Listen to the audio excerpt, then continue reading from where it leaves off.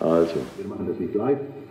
Wir haben uns schon ein paar Mal verplappert und das schneiden wir raus.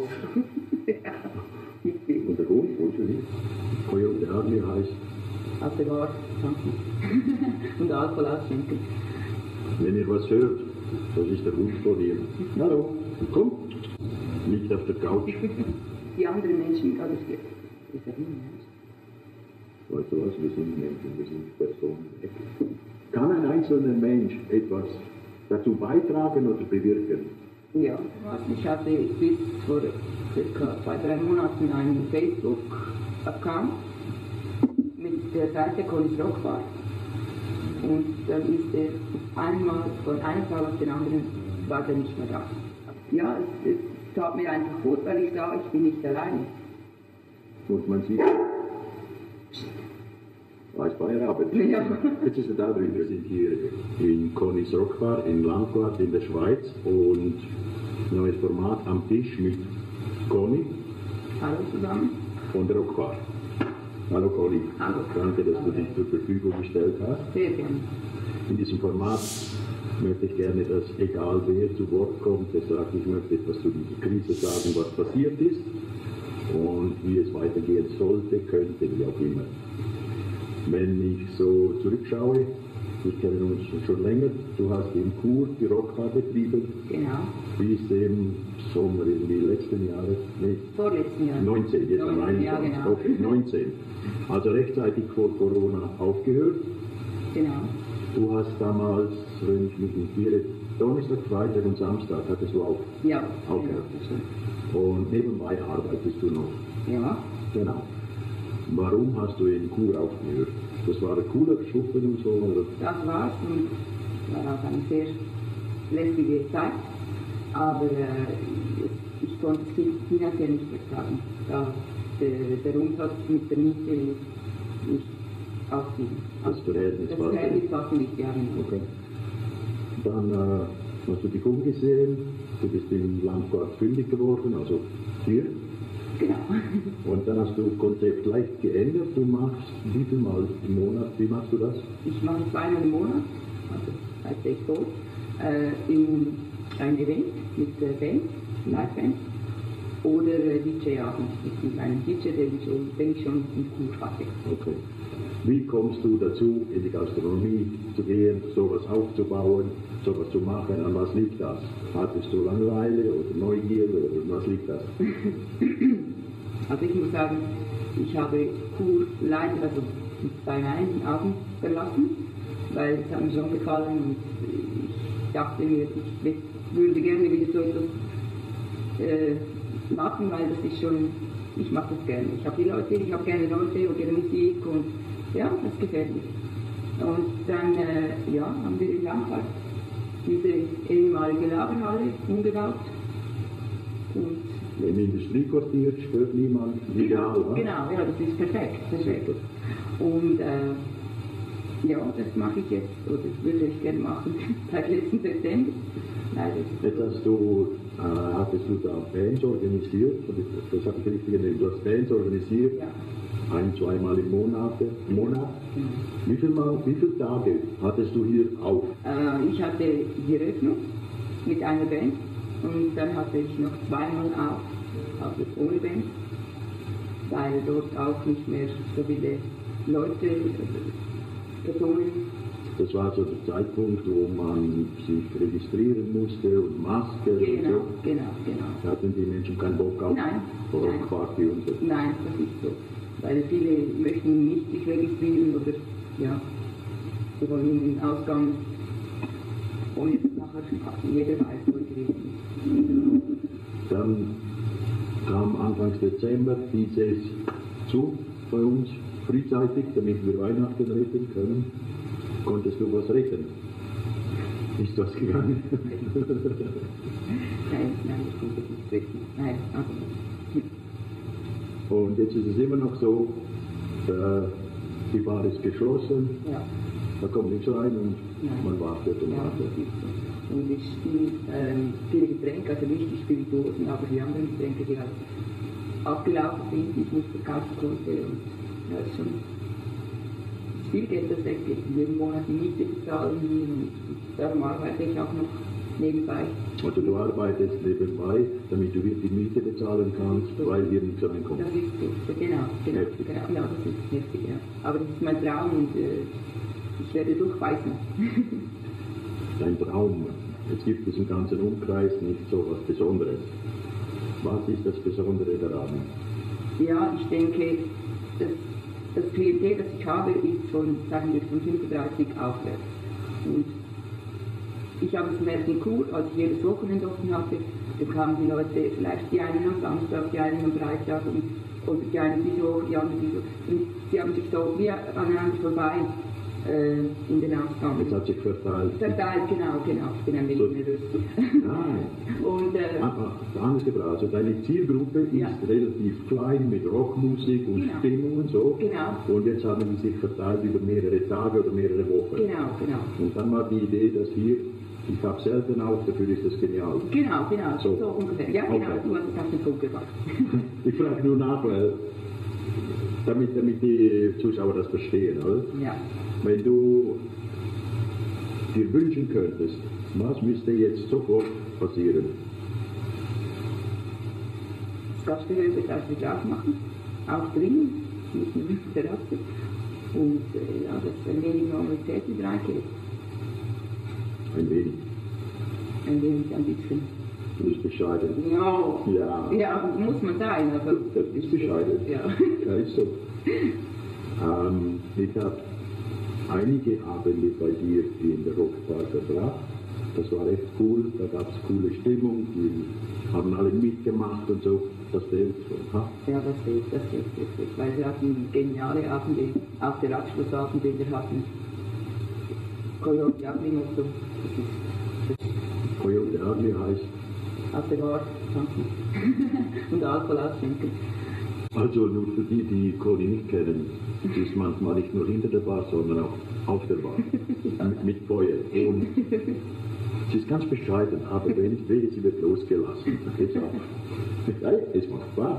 Das ist Stimmung pur. Also, Ja, das hatten wir, also wirklich geniale Abende. Das ist unvergessen. Unvergesslich, ja. Das ist, ich sage immer, ich, sicher muss ich schauen, dass ich äh, die Rechnung bezahlen kann, dass ich leben kann. Aber in erster Linie geht es mir wirklich darum, unvergessliche und lästige Abende zu haben. Ich, bin- ich habe unlästige Bekanntschaften gemacht, Freundschaften mittlerweile äh, von Kur und, und ich möchte den Leuten einfach etwas bieten, wenn ich sage, das Geld, man kann es nicht mitnehmen. Und, und die Erinnerungen, die bleiben, aber die sind da. Und Mhm. das ist das. Und, ja. Darum mache ich das eigentlich nicht. Also du machst das als Hobby, aus Ja. Enthusiasmus Genau. und ziehst das trotzdem noch durch. Ja. Also da muss viel Substanz dahinter sein, dass man, wie sagt man denn, so durchbeißt. Ja, das ist so, ja. Wie weiß man, dass du aufpasst, wenn es dann irgendwann wieder losgeht? Wie funktioniert das? Also, das ist folgendermaßen. Ich hatte bis vor circa zwei, drei Monaten einen Facebook-Account der Seite Colis Rockbar. Und dann ist er einmal von einem Tag auf den anderen war der nicht mehr da. Also ich bekam keine Meldung, nichts. Der ist einfach nicht mehr, nicht mehr da. Was hast du denn gepostet? Nur Veranstaltungen und äh, keine Ahnung. Also nicht Verschwörungstheoretiker, Zeugs, egal was, und Facebook sagt, nein. das ist gefährlich. Ja, So. genau. Nein, gar nicht. Du hast deine Veranstaltungen gepostet, die du machst. Genau. Und dann hast du, also nur das, dann heißt es einfach, zack, seid ihr nicht mehr da, Ja. ohne Begründung, Genau. ohne Mitteilung. Ja, ohne Mitteilung gar nicht. Ich, ich finde die Seite nicht mehr. Wenn ihr was hört, das ist der Hund von ihr. Hallo, komm, Ja, komm. Komm liegt auf der Couch. Willst du auch etwas sagen? Komm, komm doch, Geh hoch. Du komm her. komm, so komm. Komm. Ich meine, das ist ja irgend so Angst, aber das ist der Hund. Mm. Komm. Ein bisschen lange. Okay. Du warst ja auch in Chur an der Demo von Stiller Protest. Ja. Bringen Demonstrationen, Protestmärsche, Spaziergänge etwas? Ich denke, bis jetzt vielleicht noch nicht, aber es sind ja bei jeder Demo, Spaziergang, stiller Prozess, egal, sind immer mehr Leute dazugekommen mit der Zeit. Und ich denke, ja, die Leute haben, sind müde, sie, sie wollen es auch nicht mehr. Und, ja, und dann denke ich schon, dass äh, einige sich auch denken, ich gehe auch, um ein Zeichen zu setzen. Ich hoffe, es werden immer noch mehr Leute bei jedem Spaziergang oder Demo oder was auch immer. In, in Chur warst du auch. Ja. Frage, warum? Ich wollte für mich ein Zeichen setzen, weil ich denke, nur als einzelner Mensch, Person, kann man nicht viel, ja, man hat die finanziellen Mittel nicht oder äh, das Wissen nicht oder, oder zu wenig, äh, dass man als Einzelnen etwas verrichten kann. Ich denke, da müssen wir wirklich alle zusammenstehen und darum denke ich, also darum bin ich auch gegangen, Mitgelaufen? mitgelaufen, Mit, marschiert? mit marschiert. Marschiert. Genau, genau. marschiert, marschiert. Äh, Genau. Wusstest du, dass in Chur letztes Jahr ganz eine kleine Truppe angefangen hat, anstatt zu demonstrieren, weil in der Schweiz hatten sie so, Demonstrationen waren verboten da, Lockdown gibt es nicht. Und die wurden dann geduscht und dann gab es in Chur ein paar, die haben gesagt, wir gehen spazieren und nicht demonstrieren. Wusstest du das? Nein, das habe ich nicht gewusst. Da, gab es so, so, eine Truppe, die, da sind ein paar wenige gewesen und dann gab es mehr und mehr und mehr und dann ist es wieder eingeschlafen. Und stiller Protest macht es eigentlich dasselbe, Ja. aber nicht nur in Chur, sondern die organisieren das überall so. Oder? Ja, das gefällt mir. Und wenn man schaut, wie viele Menschen unterdessen in Chur sind, ich warte jetzt mal, um es richtig zu sagen, 4860 wurden gezählt und dann haben sie aufgehört. Ja. Also die 140, sagen wir einfach 5000, damit man sich keine Zahl im Kopf halten kann. Ja. In Wohlen, zwei Wochen davor, waren es 2500. Ja. Ach, die nehmen uns hoch. Es ging eigentlich immer, es waren immer doppelt so viele. Ja. Jetzt machen wir es so, jetzt in Liestal, schön wär's, 10.000 Personen, okay? Ich sage, das muss ich noch sagen, wenn, wenn das ausgestrahlt wird, wenn das hochgeladen Ja, ja, wird, ja. Liestal vorbei. Okay. Dann hoffen wir, dass es 10.000 waren. Okay, Aber ja, so, das hoffen wir, ja. weil wir machen das nicht live. Wir haben uns schon ein paar Mal verplappert und das schneiden wir raus. Und der Hund, wo er hin? Ah, liegt da hinten im Boden.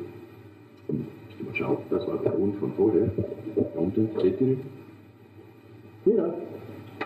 Oh, Ja. er will nur indirekt ins Bild. Okay, ich bin schon unter dem Bild dran.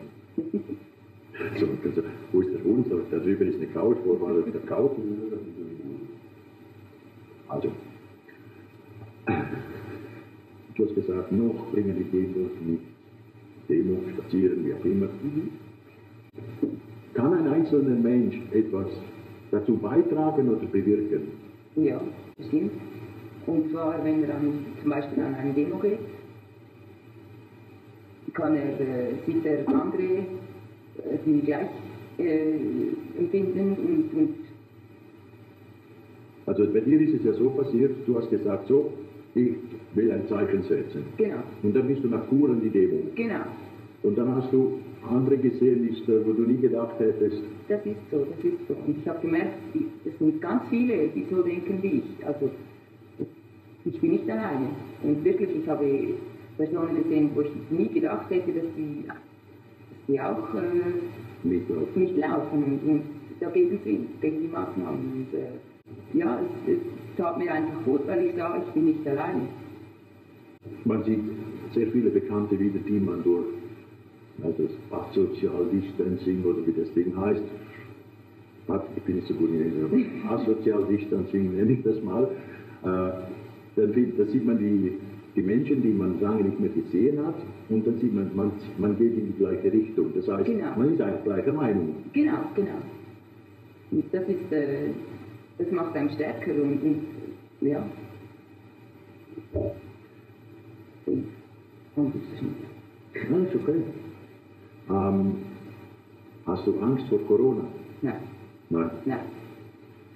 Ähm, du kennst sicher auch Menschen, die Angst haben vor Corona. Ja, Das, ich sage mal so, das ist legitim, absolut. weil gegen Angst kann man nichts machen. Das ist so. Und, aber ich denke, es wird auch, es wird ihnen Angst gemacht. Also ich, ich will das nicht verharmlosen, den Virus, absolut nicht. Und ich denke auch, dass es, ja, dass einige, die es hatten, auch, äh,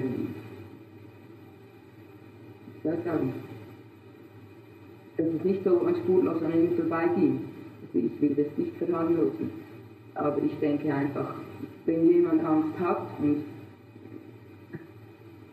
dann, äh, ich sage nicht, wenn er, er kann einen Anzug anziehen, er kann sich impfen lassen, er kann die Maske tragen, wo immer er hin, er muss auch nicht zu mir in die Bar kommen, wenn nicht so viele Leute hier sind.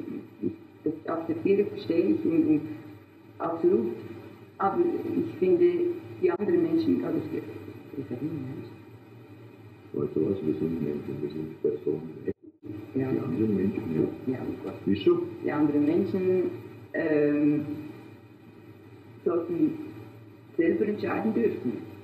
Die anderen, also, Die, die, die, die nicht äh, die Maske tragen oder die nicht impf, ge, geimpft werden wollen, finde ich, das müssen die selber entscheiden.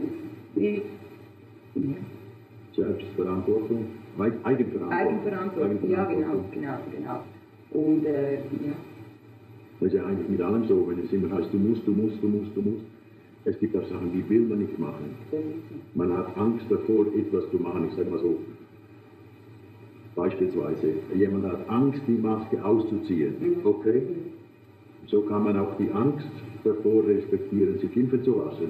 Genau, Müsste man. ja. Ich respektiere die Maske, respektiere bitte meine Angst, mich impfen zu lassen. Genau, genau. So ungefähr. Genau, Ja? absolut, ja. Ja, Das wird in Zukunft ein Thema werden.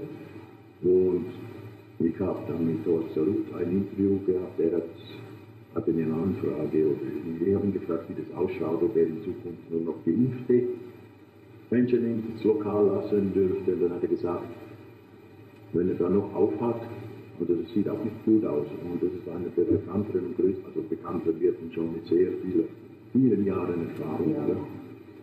Und das ist natürlich schwierig, je länger jetzt einfach der Lockdown geht, umso mehr gehen die Wirte, Restaurants, Bars kaputt. ja. Ja. Können wir dir irgendwie helfen? Sprich, in irgendeiner Art, also eine Idee. Ja, ich hoffe einfach, dass meine Gäste und treuen äh, Fans, wenn ich das so sagen darf, ähm, noch ein wenig Geduld haben und mir nachher wieder die Treue und vorbeikommen.